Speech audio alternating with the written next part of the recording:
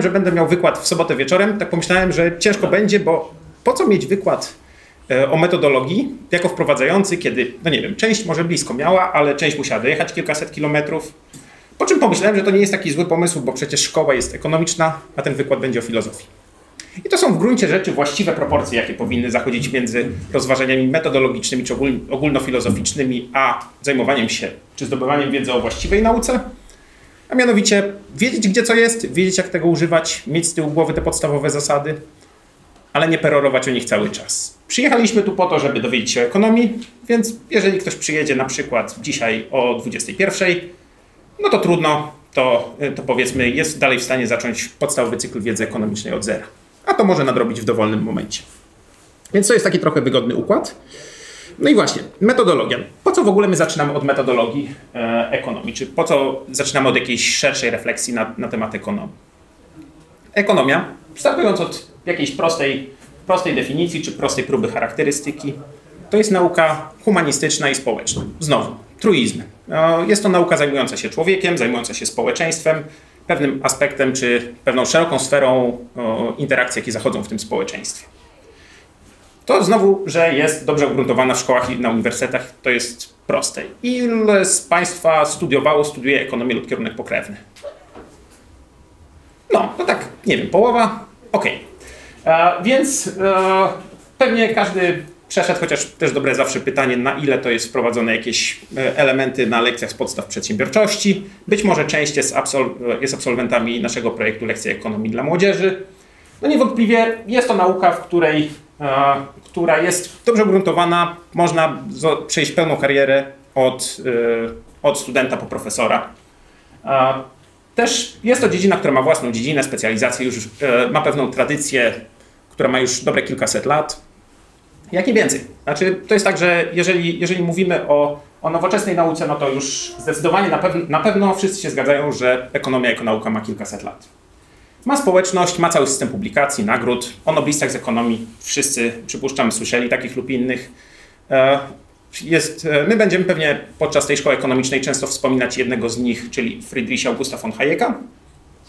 E, no i niewątpliwie ekonomiści mają duży wpływ na to, co się dzieje w życiu społecznym. Ekonomiści są doradcami rządów, są analitykami banków centralnych, często obejmują pozycje, pozycje przewodniczących banków centralnych z decyzjami takich instytucji jak Fed czy NBP, no to każdy musi się liczyć w odpowiedniej, w odpowiedniej skali. Więc ekonomia jest ważna, e, jest, jest nauką, która z jednej strony ma ten wymiar praktyczny, no bo przychodzi ostatecznie to rad ekonomistów słuchają politycy bardzo często, a czasami nie słuchają. A z drugiej strony jest to, jest to nauka mająca taki porządny socjologiczny status ekonomii. Jakby ktoś chciał opisać, jak wygląda nauka z zewnątrz i mnie interesował się treścią, Ekonomiści wyglądają jak profesorowie i mają wszystkie te charakterystyki. Dobrze, no tylko, że jak przejrzycie pewnie, nie wiem, no, zwłaszcza ci, którzy studiują ekonomię, to tam się w gruncie rzeczy nie tak dużo mówi o tym, czym jest ekonomia, czy prowadzi taką szerszą refleksję. Ekonomia jest tym, co ekonomiści robią. To jest takie motto, które można by opisać jako dominujące w, w, w podejściu. Pokazuje się pewne, pewne praktyki, pewne teorie, pewne podejścia i to ma być ilustracją. I rzeczywiście zakłada się, że student przez, poprzez przyswojenie tych praktyk, poprzez e, zaznajomienie się z nim, poprzez wyprowadzenie sobie jeszcze raz, poprzez policzenie iluś zadań, nabędzie pewną sprawność, czy nabędzie te intuicje, które, które stoją za tym, e, za uprawianiem ekonomii. Natomiast to nie do końca też tak. Jak sobie przyjrzymy e, w literaturze, no to zwłaszcza po kryzysach, szczególnie po kryzysie 2008, notorycznie pojawiały się w publikacjach popularno-naukowych, w jakichś e, no i w, w czystej publicystyce pojawiały się hasła e, do tego, że obecna ekonomia jest nic nie warta i trzeba ją zastąpić i zbudować w zasadzie tę naukę od podstaw i że to, co przez kilkaset lat budowaliśmy, to był po prostu jeden wielki szwindel, podporządkowany pewnym interesom pewnej grupy, pewnej ideologii. Teraz, nie jest to ograniczone tylko do, tylko do samych, samej publicystyki, no bo gdyby to była publicystyka, to jeszcze e, naukowcy się tym nie muszą przejmować. Ale są publikacje, już bardziej naukowe, które noszą takie wdzięczne tytuły jak Przeciw ekonomii, Śmierć ekonomii, czy Zasady ekonomii, pewne kłamstwa, które mi opowiadali moi nauczyciele. No, nie wystawia to najlepszej e, oceny e, ekonomistom. I też warto się zastanowić, skąd się to bierze. Bo z jednej strony jest tak dobrze. Ekonomia jest e, wspaniałą nauką. Jest, ma status taki, jaki mają, nie wiem, fizycy, chemicy, biologowie. Z drugiej strony, no, krytyka jest nieporównana. Jakoś nikt w ten sposób nie określa, nie wiem, śmierci chemii. A śmierć ekonomii się ogłasza. I to się publikuje i normalnie można na to wręcz awanse naukowe dostawać za takie tezy. No i teraz pytanie, pytanie co, e, jak pogodzić tę sprzeczność? Pogodzenie tej sprzeczności, na pogodzenie tej sprzeczności dobrze podeszli do tego autorzy właśnie związani ze szkołą austriacką. I to widać w całym ciągu o nazwiskach takich jak założyciel szkoły, czyli Karl Menger, potem patron naszego instytutu, czyli Ludwig von Mises, wspomniany noblista e, z ekonomii, czyli Friedrich Hayek.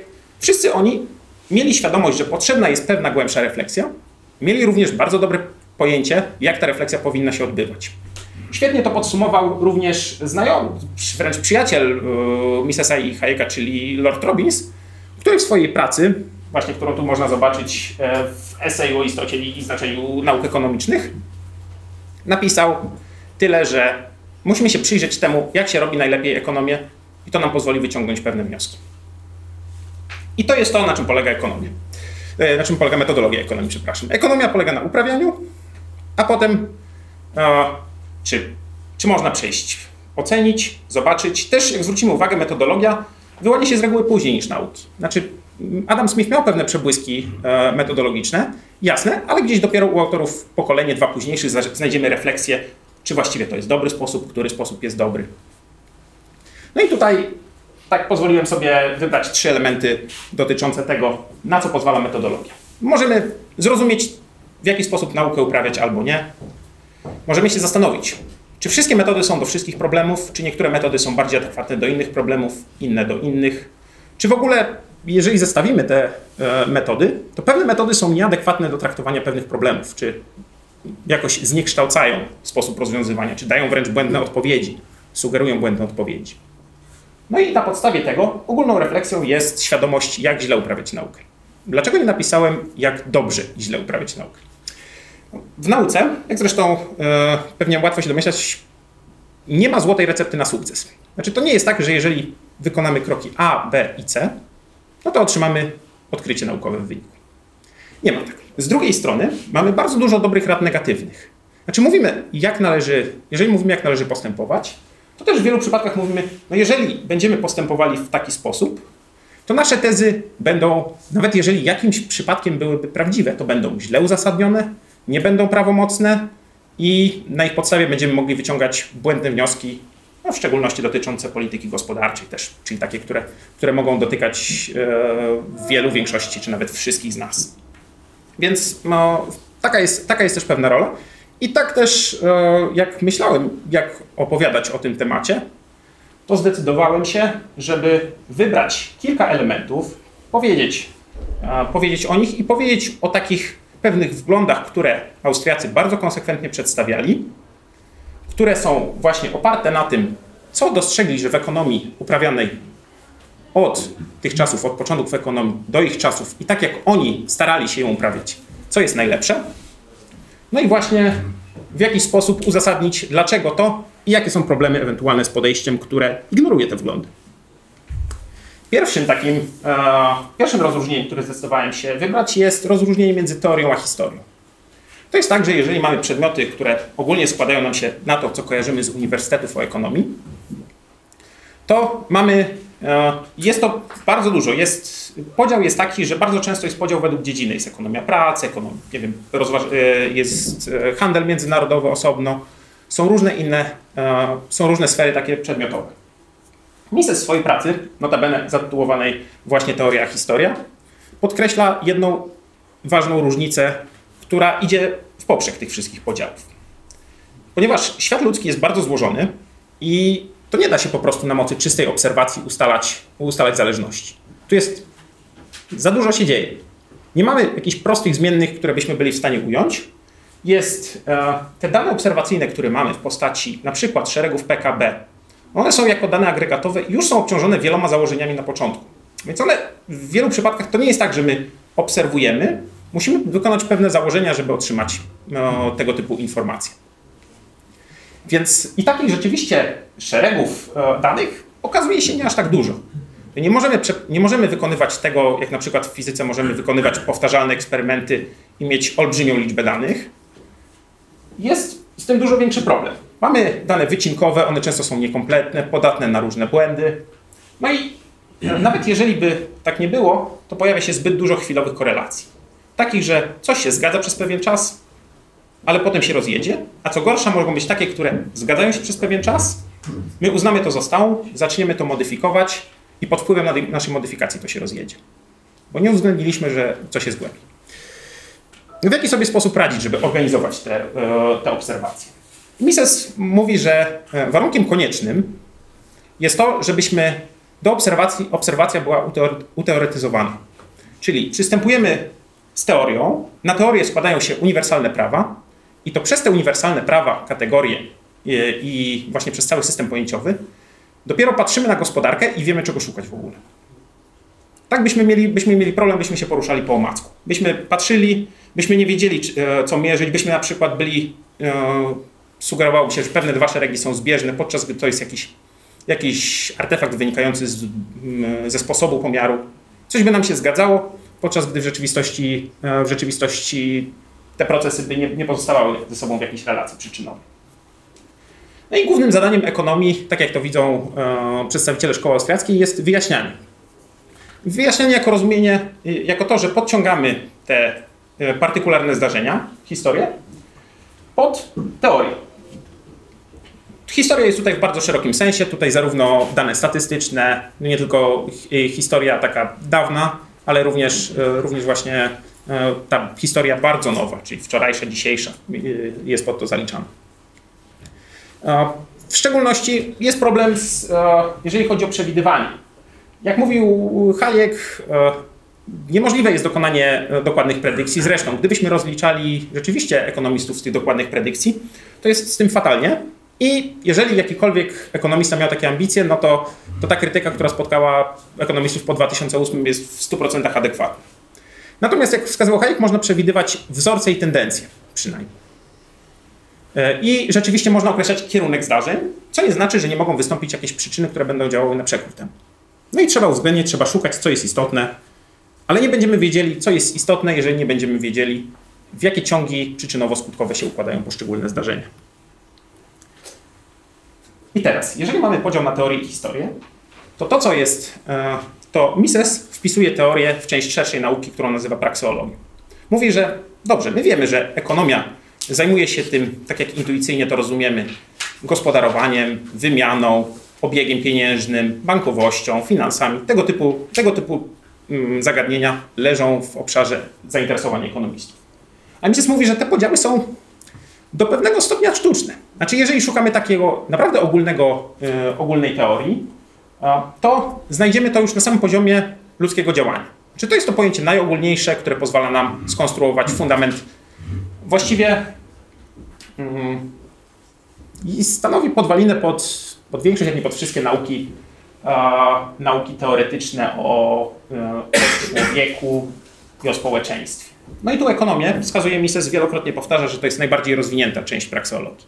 Że to jest rzeczywiście, jeżeli mówimy o ludzkim działaniu, to tak, ekonomiści historycznie zajmując się gospodarowaniem, gospodarowanie jest rodzajem, rodzajem działania, no to, to, to ta część, e, tej części była poświęcona, poświęcone najwięcej uwagi, tu wykonano najwięcej, też wymianie e, pieniądzu, natomiast należy wszystko postrzegać w szerszej perspektywie. Więc to nie jest tak, że Mises mówiąc, że nazywa, odwołuje się do prakseologii, unieważnia to, co zostało dokonane, po prostu umieszcza w odpowiednim kontekście. To są w pewnym, w pewnym no właściwie to są szczególne przypadki szerszej teorii. No i podstawą prakseologii jest Mises wskazuje to, co często jest przyjmowane, e, mm, to, to się nazywa w literaturze jako aksjomat działania, czyli to, że człowiek, no właśnie, aksjomat działania człowiek działa. Co się kryje w pojęciu działania? To jest kluczowe. Dobór rzadkich środków do realizacji wybranych celów, no i ta realizacja oczywiście dokonuje się w świecie. Teraz ta realizacja, ten aksjomat ma dwie, dwie takie bardzo, bardzo użyteczne w budowie nauki tezy. Po pierwsze, no spróbujmy zaprzeczyć temu aksjomatowi. Co musielibyśmy zrobić? Wykorzystać rzadkie środki. Z reguły jest to albo nasz aparat mowy, albo nasza ręka i kartka, czyli jakieś zasoby rzadkie. Do realizacji celu którym byłoby zaprzeczenie aksjomatowi działania. Wobec tego nie jesteśmy w stanie, e, nie jesteśmy w stanie tego jako ludzie wykonać. Nie jesteśmy w stanie technicznie, rzecz mówiąc, zaprzeczyć temu aksjomatowi. E, tu można dodać, że oczywiście, że, że w, tej, w tej sytuacji mamy naprawdę mocną podstawę pod to. No bo z jednej strony możemy się odwołać do naszych potocznych intuicji. Rzeczywiście mamy wewnętrzną z introspekcji, my wiemy, że my działamy. Mamy jakieś poczucie sprawczości. Z drugiej strony mamy mocny argument filozoficzny, że nie jesteśmy w stanie temu zaprzeczyć przez e, konstruktywne podanie. Więc to jest, wydaje się, bardzo mocny fundament, no bo co może być pewniejszego niż jakieś zdanie, które ma takie mocne uzasadnienie. Drugim, e, drugim elementem jest to, że kategoria działania jest bardzo bogata. Jak zaczynamy rozpakowywać to pudełko pod nazwą działanie, to okazuje się, że są cele, środki, przyczynowość, preferencja, czas, niepewność. To się wszystko zalicza. Cele i środki są już ujęte, czyli e, dobieramy rzadkie środki do stosowania wybranych celów. Przyczynowość. No musimy wiedzieć, że zastosowanie środków doprowadzi do realizacji celu, czyli musi istnieć między środkiem a celem relacja przyczynowa. Jakby nie istniała, po co dobierać środki? Preferencja. Jeżeli dobieramy pewne środki, to uznajemy je za adekwatniejsze do celu niż inne. Więc e, w takiej sytuacji występuje, występuje preferencja. Czas. No tutaj czas, czas jest dorozumiany o tyle, że działanie odbywa się w świecie i rzeczywiście praktycznie każde działanie, w szczególności takie, takie rodzaje działania jak produkcja, e, jak wymiana, wymagają, e, wymagają czasu. Tak nie, następu, nie następują wszystkie zdarzenia jednocześnie. No i z czasem związana jest niepewność, że świat jest dynamiczny, następuje dużo zmian. Te zmiany są względem każdego podmiotu zewnętrzne. One mogą wynikać z tego, że coś wydarzy się w świecie, naturalnym, a może wynikać też z tego, że z, e, z, naszej interakcji z innymi ludźmi, że inni ludzie mogą zmienić swoje preferencje, mogą zachować się w taki inny sposób nieprzewidziany. To wszystko się składa na to, że musimy sobie radzić z tą niepewnością. Z jednej strony jesteśmy generatorami tej niepewności, niewątpliwie generatorem jest świat naturalny, no i musimy, musimy jakoś e, to zawierać. Więc to wszystko e, jest tutaj. Mamy zestaw podstawowych kategorii, które pozwalają nam interpretować. Teraz ktoś może powiedzieć, że to jest proste. Jak się okazuje, znaczy jak się okazuje. To jest tak, że przez dwa najbliższe dni, jak nie trzy, będziemy rozwijać to.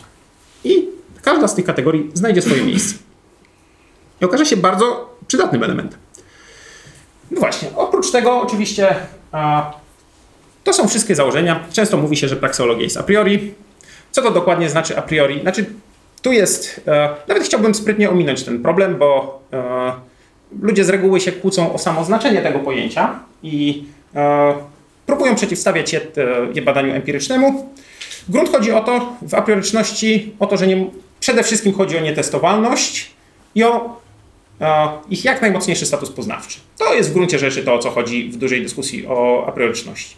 Reszta jest nakładką filozoficzną, o której bardzo chętnie opowiem, ale w zasadzie, jak mówiłem, ponieważ to jest wprowadzający wykład do szkoły ekonomicznej, nawet e, to raczej powinno, powinno pozostawać jako taki temat dodatkowy, a nie zdominować dyskusji.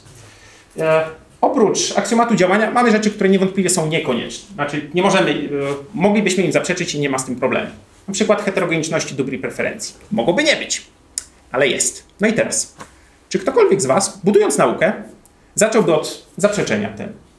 No jeżeli by zaczął od zaprzeczenia temu i stwierdził, że nie istnieje heterogeniczność dóbr i preferencji, to jakieś zdania by z tego wyprowadził ale raczej by nie poprowadziło go to daleko e, i raczej ciężko by było spodziewać się, że zostanie to w jakimkolwiek poważnym, potocznym odbiorze społecznym uznanym za, e, za coś mającego status wiedzy, w szczególności takiej wiedzy jak najpewniejszej, czyli wiedzy naukowej.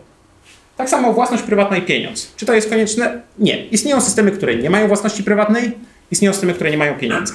Ale jeżeli przyjmiemy, że istnieje własność prywatna, możemy z tego wprowadzić pewne pewne implikacje, o których też e, będzie dużo. Jeżeli istnieje pieniądz, też możemy wyprowadzić. Możemy porównywać systemy, w których jest pieniądz, w których nie ma pieniądza, zastanawiać się, jakie czynniki e, i jakie to różnice w systemach gospodarczych powoduje, no i też skąd się biorą te, skąd się biorą te różnice. No i znowu, nikt poważny nie będzie mówił, że trzeba weryfikować, czy istnieje własność prywatna, czy pieniądz. E, więc tutaj nie potrzeba żadnych skomplikowanych testów, żadnych regresji liniowych, nic, to są bardzo proste, bardzo proste założenia. A jak się okazuje, przez, przez kolejne dwa dni będziemy, a właściwie trzy, będziemy opowiadać o tym i będziemy starać się z tego pokazać, że naprawdę da się bardzo dużo owocnej teorii wyprowadzić. Teraz, to co zaprezentowałem jest, no te założenia są, mają tak mocny status poznawczy, na jaki nas stać w zasadzie. I e, cała teoria ekonomii, jaka będzie wprowadzana, ona będzie z tego czerpała prawomocność. Że mamy rzeczywiście bardzo porządne, bardzo dobre, bardzo oczywiste, przekonujące, intuicyjne mające jeszcze e, szereg takich e, cech, które właściwie narzucają nam wręcz przyjęcie tego. No i jeżeli wyciągamy z tego jakieś wnioski, no to te wnioski czerpią prawomocność z tego. To jest analogicznie do pewnego stopnia, jak e, wyprowadzamy, jak mamy, ustaliliśmy już sobie aksjomaty matematyki, wyprowadzamy, no to twierdzenia, wnioski są prawdziwe, czy twierdzenia są prawdziwe na mocy aksjomatów. Tutaj mamy dodatkowy ten walor, że jednak e, te wszystkie obserwacje dotyczą świata. Mm, inaczej jest w przypadku fizyki, gdzie obserwujemy zjawiska makro. No nie mamy, nie możemy podać jakichś takich prostych, podstawowych e, zdań, które by nas prowadziły, które mówiły nam o podstawach, tylko szukamy jakichś modeli, które odpowiednio poskładane będą nam generować te zjawiska, które obserwujemy w skali makro. Czy które potrafimy pomierzyć. Znowu instrumentami pomiarowymi, które też musimy wiedzieć, jak, jak funkcjonują. I tutaj to znowu przedstawiciele szkoły austriackiej, ale też ludzie 200 lat wstecz aż do Jean-Baptiste Seya wskazują, że te pierwsze zasady w ekonomii mają, znaczy mamy lepszy dostęp poznawczy do pierwszych zasad. Ekonomia jest trudniejsza, bo ma bardziej złożoną dziedzinę, mamy dostęp, mamy dostęp do tego, co potrafimy na początku robić. No i tak jakby na koniec e, tego elementu jeszcze dorzucić, e, dorzucić małą szpilkę, to jakby ktoś chciał być konsekwentnym empirykiem, to nie mógłby właściwie zacząć od mówienia tego, że na przykład ktoś poszedł do sklepu po bułki. No bo my widzimy tylko, że jakieś ciało przesunęło się z punktu A do punktu B, wzięło coś, co rzeczywiście możemy zidentyfikować. No właśnie, pytanie, e, czy w ogóle moglibyśmy zidentyfikować to jako bułkę? Nastąpiło jakieś przełożenie jakichś krążków, które są wykonane ze złota w jedno miejsce i ten człowiek by się przemieścił e, w drugie miejsce. No a żeby zinterpretować, że to rzeczywiście nastąpiła transakcja kupna bułki, to już potrzebujemy zrozumieć znaczenie tego działania, sens tego działania konsekwentnie jakbyśmy patrzyli w taki sposób fizyczny, no w fizyce nie mamy sensów, w chemii nie mamy sensów. Po prostu jakieś ciała poruszają się, coś przewiduje. Jeżeli by konsekwentnie stosować takie podejście, nie mam mowy o sferze znaczeń. Nie ma. Więc e, trzeba przyznać, że e, przy takim podejściu sprawa okazuje się jasna. Wielu ludzi stosuje niekonsekwentnie te zasady, a my staramy się w miarę konsekwentnie i świadomie ich trzymać.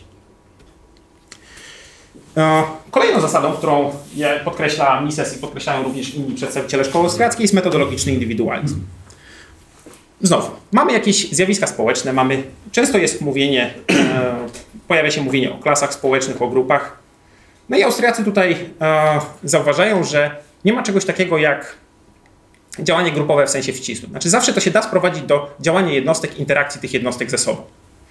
Jeżeli mamy jakieś instytucje, na przykład mamy, nie wiem, bank centralny, czy mamy państwo, które to oczywiście jest, jest instytucją, to ich znaczenie manifestuje się tylko przez poszczególne działania. Że ludzie zachowują się przekonaniem, że ta instytucja ma władzę obowiązywania albo ma siłę, żeby obowiązywać. W każdym razie po prostu tylko dlatego, że ludzie przekonani są e, e, o tym. E, albo, że na przykład wiedzą, że jeżeli coś zrobią, to spotka ich odpowiednia sankcja, no bo ta strona sankcjonująca ma odpowiednią, odpowiednią siłę fizyczną. Ale e, to jest tak, że instytucje nie mają jakiegoś działania autonomicznego. My jak mówimy o działaniu instytucji, to zawsze mówimy pośrednio o działaniu poszczególnych, poszczególnych osób. No tego nie należy mylić z dwiema rzeczami, to notorycznie jest robione. Przede wszystkim z przeczeniem temu, że istnieją grupy społeczne. U Misesa znajdziemy bardzo duże e, fragmenty, nawet w, w pierwszych rozdziałach ludzkiego działania, o tym, że właściwie wszystko to, co mamy, to w pewien sposób nabywamy poprzez interakcję z grupą że tylko, i on tam pisze e, takie bardzo cytaty, że trzeba naprawdę specyficznego bardzo podejścia, żeby móc się wyłamać, żeby wyjść poza. Że w dużej mierze pisze o tym, że jesteśmy konformistami. A, oczywiście to jest tak, że też każdy, e, jak spojrzymy, każdy ma inną grupę interakcji, też można by powiedzieć. Natomiast e, każdy uczestniczy w wielu grupach. Te grupy mają na nas wpływ. Ale to nie znaczy, że to nie, to nie jest metodologiczny indywidualizm. Więc e, e, metodologiczny indywidualista nie powie, że nie istnieją grupy społeczne. Powie to, że istnieją, tylko wywierają wpływ tylko przez to, jaki wpływ e, przez, przez właśnie przez interakcje i te interakcje ostatecznie muszą się zamanifestować w tym, co w przekonaniach i w działaniach człowieka. No i druga rzecz, indywidualizm moralny i polityczny. To też trzeba odróżnić. Osobny jest, oczywiście można, jedno, y, można być zwolennikiem jednego i drugiego i trzeciego poglądu, natomiast to też jest odrębna teza. Co innego jest podkreślać, że każde zjawisko można zasady sprowadzić do działania jednostek. Co innego podkreślać, że jednostka jest na przykład e, wybory jednostki powinny być szanowane jako najwyższe wybory, e, czy jako, jako taki standard, standard powiedzmy, nie wiem, moralny czy polityczny, czy że należy dbać o wolność jednostki. E, jedno należy do kwestii właśnie etycznych, drugie należy do kwestii, kwestii pozytywnych, naukowych.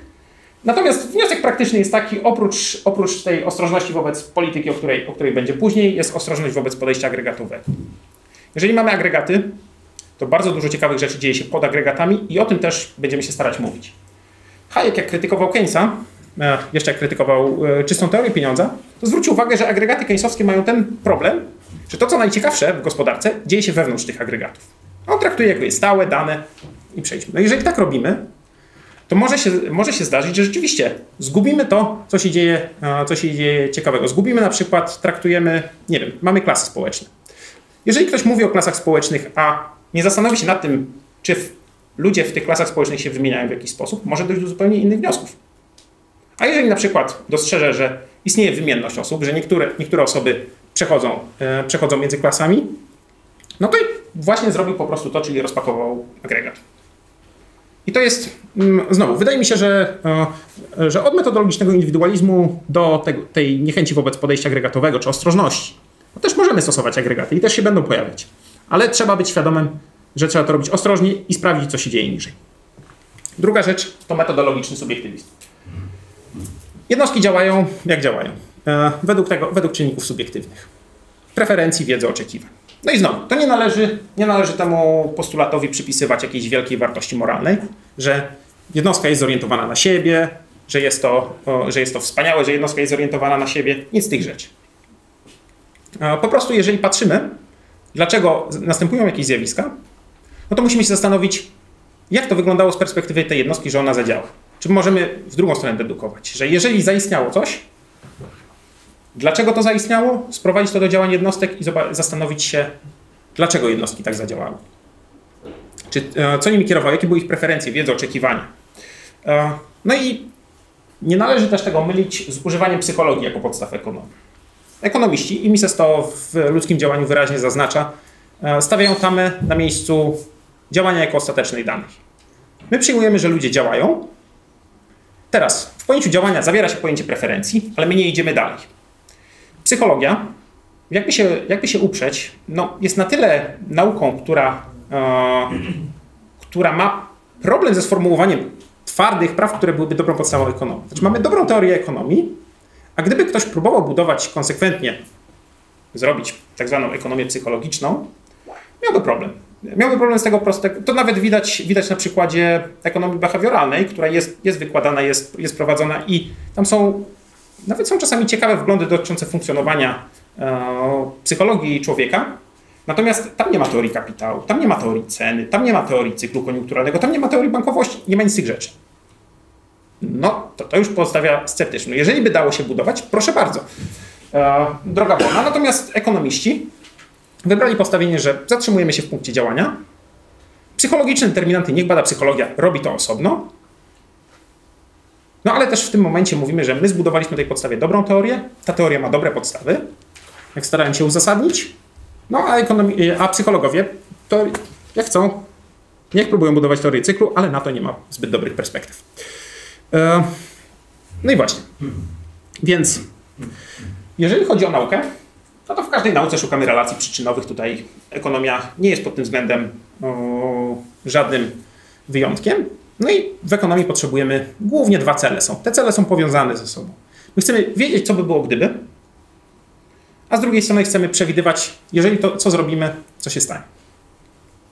Teraz, żeby to zrobić, to w ekonomii jest potrzebne coś takiego realistyczne założenia. Znaczy te założenia, które czynimy na początku analizy, one muszą być adekwatne wobec świata, który próbujemy, próbujemy opisać.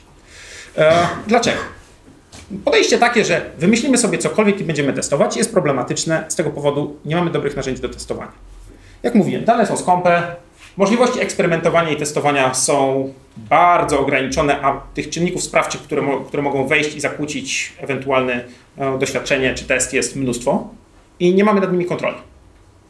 Z tym jest bardzo duży, e, bardzo duży problem.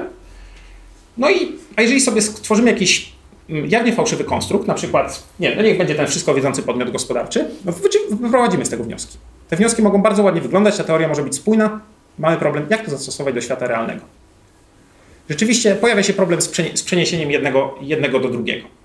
E, I tutaj e, ktoś może powiedzieć, no dobrze, ale każda nauka opiera się na pewne, pewnego rodzaju abstrakcji.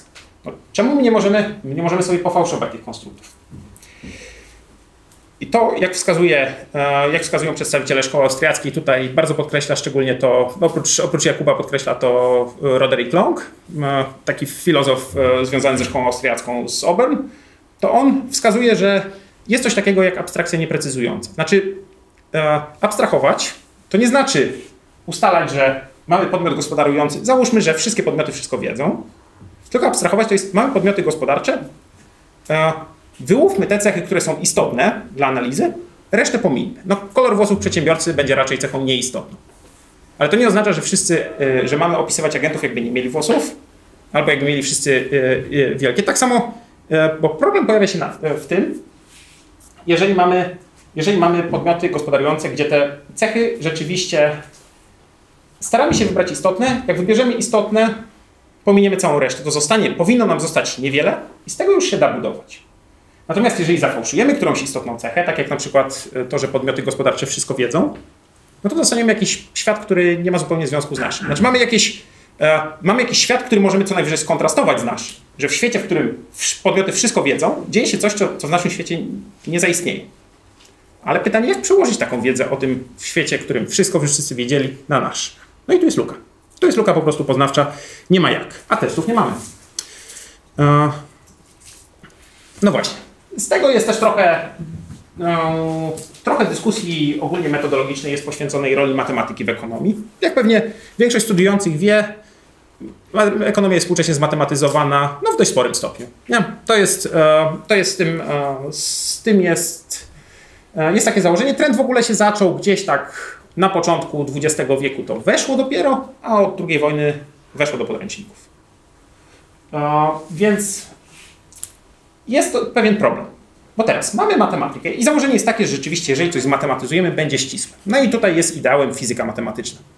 Zmatematyzujemy E, zmatematyzowaliśmy, wznieśliśmy się na nowy poziom, wyszliśmy poza jakieś rozważania jakościowe, mamy dobrą ilościową teorię. Dobrze. A, tylko trzeba pamiętać, że w teorii ekonomii a, i to może, być, to może być do pewnego stopnia przydatne, jak na przykład zbieramy dane gospodarcze. Tu też trzeba uważać, ale to może być e, do pewnego stopnia to, e, to może być adekwatne. Natomiast w teorii ekonomii, czyli jeżeli szukamy uniwersalnych praw, no to mamy szereg problemów, które szereg błędów, które notorycznie są popełniane. Po pierwsze, równania wymagają e, interpretacji. Jeżeli mamy równanie, pewnie wiele osób może kojarzyć równanie wymiany MV równa się PT. Jest chyba e, najsławniejszy wzór, zresztą bardzo popularyzowany przez Miltona Friedmana. Problem jest taki, że samo równanie świetnie e, jest i nawet przypuszczam, że można się zgodzić, że ono jest prawdziwe. Problem w tym, w którą stronę idą procesy przyczynowe. Czy zwiększenie m powoduje zwiększenie, e, zwiększenie t, czy na przykład zwiększenie t powoduje zwiększenie m, czy zwiększenie w którą stronę. No i do tego już potrzebujemy opisu, a przyczynowości tak łatwo nie zapiszemy. Znaczy, nie mamy w ogóle, aparat matematyczny jest niedostosowany do opisywania przyczynowości w porządny sposób, czy w jakikolwiek sensowny sposób, więc potrzebujemy zawsze zinterpretować takie równania. No i i na poziomie tej interpretacji już się pojawiają spory. I o równanie wymiany też, też był wielki spór w, w głównym nurcie, w którą stronę należy to interpretować. No więc zawsze, jednak ostatecznie mo, musimy wrócić do, do tego opisu, opisu słownego. Po drugie, jeżeli stosujemy język matematyczny, no to czasami robimy, wprowadzamy pewne rzeczy dla uproszczenia. Na przykład mamy krzywe obojętności. Krzywe obojętności są wprowadzane jako standardowy element analizy neoklasycznej i one są wprowadzane jako ciągłe. Świetnie. A, tylko, że w rzeczywistości, jakbyśmy, jakbyśmy spojrzeli, koszyki dóbr no, są dyskretne. Znaczy w wielu przypadkach nie ma sensu podział dobra na pół, nie wiem, pół samochodu, e, pół czegoś. I to, jakkolwiek w przypadku wielu dóbr może okazać się całkowicie niewinne, Potem powstają takie problemy, że jeżeli mamy płatną krzywą obojętności, no to ona ma dokładnie jedną styczną w każdym punkcie. A jeżeli mielibyśmy taką łamaną, no to już tych stycznych się trochę więcej jesteśmy w stanie nakreślić. No bo jak mamy w punkcie, to rzeczywiście, rzeczywiście możemy wybrać więcej. No to nawet.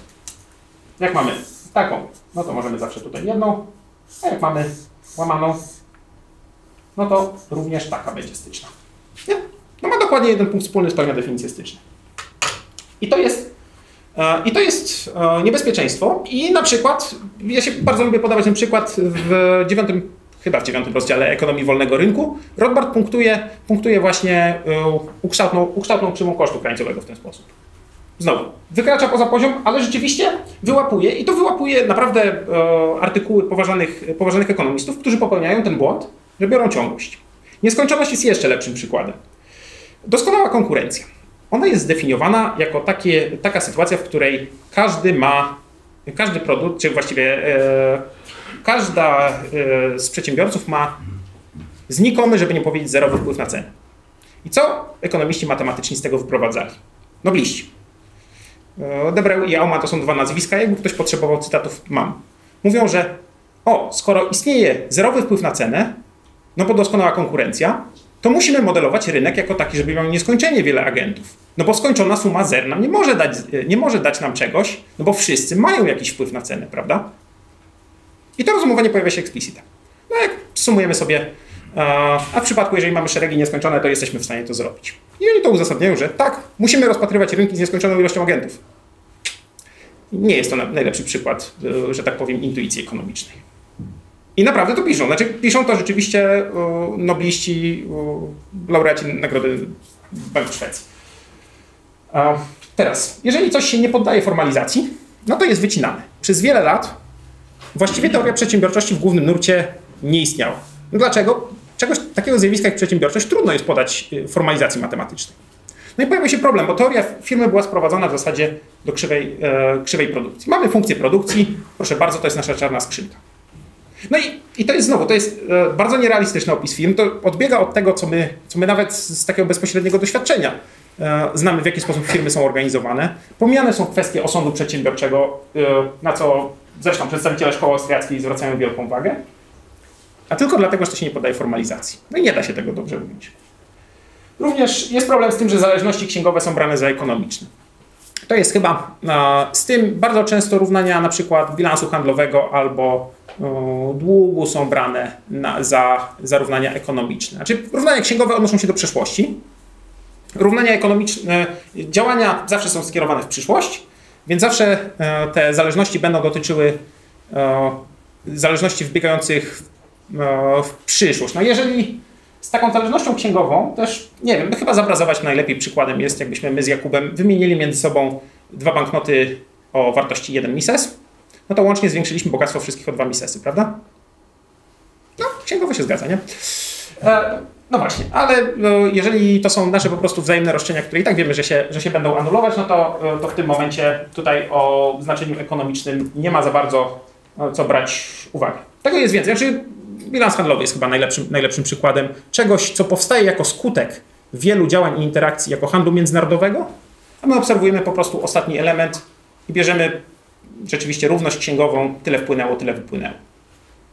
Natomiast same procesy, procesy gospodarcze są na zupełnie innym poziomie.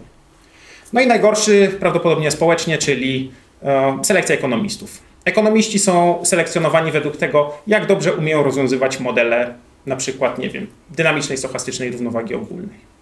Jak są, dobrze potrafią rozwiązywać całki, jak dobrze potrafią pisać w, w różnych pakietach e, ekonomicznych, jak dobrze potrafią wymyślać E, stosować skomplikowane techniki statystyczne do, e, do pewnych rzeczy, a eliminowani są ci, którzy może są trochę słabsi pod tym względem, natomiast mają ten rzadki dar rozumienia procesów gospodarczych. I to jest problem, bo rzeczywiście to jest tak, że w pewnym momencie, to właśnie Gerard Debreu jest chyba najlepszym przykładem tego, że on pisze świadomie, że on pisze w zasadzie podręcznik do topologii, tylko że wiecie, jak to się zinterpretuje, to ma zastosowanie, e, zastosowanie ekonomiczne. To problem w tym, że ten krok interpretacji jest na tyle wątpliwy i na tyle dyskusyjny, że z niego, że ta teoria, którą zaproponował, nie jest, e, nie jest realistyczna też na mocy złamania wielu z tych punktów I jest, jest tym problem. Natomiast kontynuatorów znalazł, znalazł. No i jest, e, jest rzeczywiście to jest, e, to jest problem i to jest problem, który właściwie duża część tych problemów jest dostrzegana nie tylko przez przedstawicieli szkoły austriackiej, ale również przez, e, przez tych ludzi, którzy mają to, co ja nazywam pewną, pewnym rozumieniem procesów gospodarczych, pewną intuicją. Jest na przykład Paul Samuelson oczywiście popełniał wiele tych błędów, ale również czasami naprawdę, czasami pewne rzeczy, znaczy warto czytać, tam gdzieś przynajmniej ten, ten element rozumienia procesów gospodarczych się tli. Ale jak ktoś jest mniej zdolny niż Samuelson, to tam już się niestety czasami nie tli. To jest problem. E, I to się robi po prostu ekonomia stosowana. Jakby ktoś chciał pójść na, na matematykę, czy matematyka stosowana, jakby ktoś chciał pójść na matematykę, to by poszedł. Jak nie poszedł, no to chyba jest zbyt słaby. No nie, no taka prawda, taka prawda że, e, że to jest udawanie, udawanie, e, udawanie, znaczy bycie drugorzędnym matematykiem w, pod, pod płaszczykiem ekonomisty. Niestety, w wielu przypadkach. Ostatnia ważna cecha to jest wolność od wartościowania. No tutaj e, teza jest sformułowana ostro jako ścisły rozdział nauki pozytywnej od tez normatywnych. W ramach nauki pozytywnej mamy prawa ekonomii. Jeżeli zachodzi A, to zachodzi B. Jeżeli coś jest A, to coś jest B. I tego typu, tego typu zależności. Mamy również interpretację zjawisk procesów gospodarczych. To pierwsze to jest teoria, to drugie to jest generalnie historia. E, I to jest zaszło A, więc zaszło B. Oczywiście, tak jak mówiłem o teorii i historii, to e, Stosujemy prawa ekonomii do konkretnych zjawisk, wiemy czego szukać, identyfikujemy to zaszło, to zaszło. I mamy dzięki temu jakieś, odkrywamy jakieś zależności przyczynowe, jakie rzeczywiście wystąpiły w świecie. No i mamy warunkowe zalecenia praktyczne. Jeżeli chcesz osiągnąć A, uczyń B. Jeżeli chcesz osiągnąć sytuację, w której, co zresztą będzie, będzie, o czym będzie jutro mowa, chcesz osiągnąć sytuację, w której występują masowe niedostosowania produkcji, e, właściwie e, utrudniona jest do granic niemożliwości akumulacja kapitału i rozwinięcie jakiego podziału pracy, wprowadź socjalizm jako kolektywną własność środków produkcji. I to jest zalecenie. Oczywiście, e, to nie jest, e, to nie jest teza normatywna, może się zdarzyć taki sadysta. No i zupełnie niewykluczany. Jest, e, jest zalecenie. No i teraz właśnie, tak jak mówi Mises, nauka nie ocenia, lecz dostarcza, lecz dostarcza działającemu człowiekowi informacji. Trzeba, każdy czy to na poziomie indywidualnym, czy też w ramach, w ramach pewnych grup społecznych, odpowiadają sobie, jak żyć, co warto wdrożyć. No i zadaniem ekonomisty jest przedstawienie wszystkich odpowiedzi. Zrobisz to, zajdzie to. Zrobiłeś to, zaszło to. No i jest ważny wniosek praktyczny. A wnioskiem praktycznym jest to, żeby, że to bardzo dobrze pilnuje. To podkreślał też o, znajomy właśnie Ludwika von Misesa, wybitny filozof niemiecki Max Weber, który wskazywał, że dużo sporów jest o wartości. I, e, I to jest tak, że przychodzą ludzie do ekonomii, ponieważ ekonomia ma takie znaczenie praktyczne dla wszystkich, przychodzą z bardzo mocnymi, e, bardzo mocnymi koncepcjami, że chcą zaprowadzić taki a taki porządek, no i zaczynają trochę naginać tę naukę. No, tu nagiąć, tu nagiąć. Jeżeli się ścierają z innymi, jeżeli e, to staje, znowu, to nie znaczy, że nie można mieć, wręcz, wręcz przeciwnie. To jest, to jest tak, że należy po prostu umieć oddzielić jedno od drugiego. Wręcz to jest tak, że jako obywatele bardzo dobrze i to jest, to jest najzupełniej, najzupełniej dopuszczalne. Po prostu no nie powinno tak, że powinniśmy naginać. Jeżeli gdzieś z A wynika B no to z, e, i odkryjemy to, no to nie będziemy szukać wybiegów, kombinacji. Po drugie, nie będzie e, bardzo dużo sporów, e, jeżeli byśmy o tym zapomnieli, o tej zasadzie, po prostu przechodzi e, na sporo wartości. I zaczynamy dyskutować, czy wprowadzenie, czy właściwy powinien być porządek A, czy właściwy porządek B. A to pomijane jest to, co do czego przynajmniej możemy się. Znaczy, ta sfera naukowa, jako zdania pozytywne, to jest ta sfera, przy której możemy się zgodzić, nawet jeżeli różnimy się co do, co do wartości poszczególnych. I to jest rzeczywiście ta wiedza, która jest e, wspólna. No i tak też, e, jakbyśmy popatrzyli, no to nie wiem, jakaś taka rozbieżność zdań co do, e, co do poglądów naukowych jest chyba trochę mniejsza niż w praktyce, niż różnych stanowisk normatywnych, więc coś w tym może być, że, że lepiej, lepiej umieć to rozdzielić. No niestety stronniczość, stronniczość jest, jest straszną.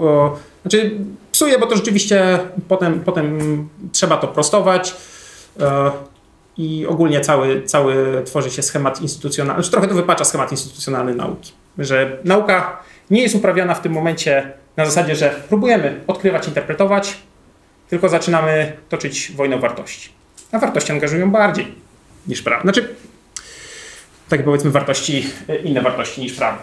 No bo właśnie, jeżeli jest jakakolwiek wartość w nauce, naczelną wartością jest prawda. Podsumowując, ekonomia jest częścią prakseologii, czyli nauki e, o ludzkim działaniu. To jest ekonomia jako teoria. Ta teoria e, opiera się na zasadności podstawowych pojęć, z aksjomatem działania, z przyczynowością, celami, środkami, czasem niepewnością. E, przy rozwoju teorii ekonomii należy pilnować tych zasad. Omówię, dlaczego przyczynowy realizm, dlaczego należy trzymać się realizmu. Nie mamy, nie mamy innego dobrego sposobu, żeby stwierdzić metodologicznego indywidualizmu, subiektywizmu.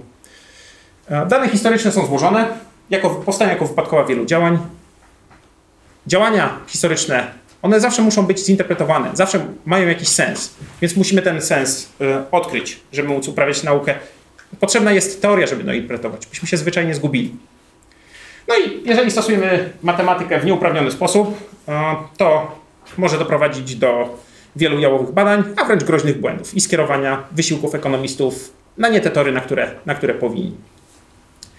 No i przede wszystkim ostatecznym wnioskiem jest to, że e, ekonomia to jest nauka, jako taka jest wolna od sądów wartościujących, ale jako taka stanowi najlepszą podstawę do tego, żeby przekładać sądy wartościujące na, w swoich indywidualnych postawach na to, co należy czynić, czego nie należy czynić w takich, a nie innych sferach. Dziękuję.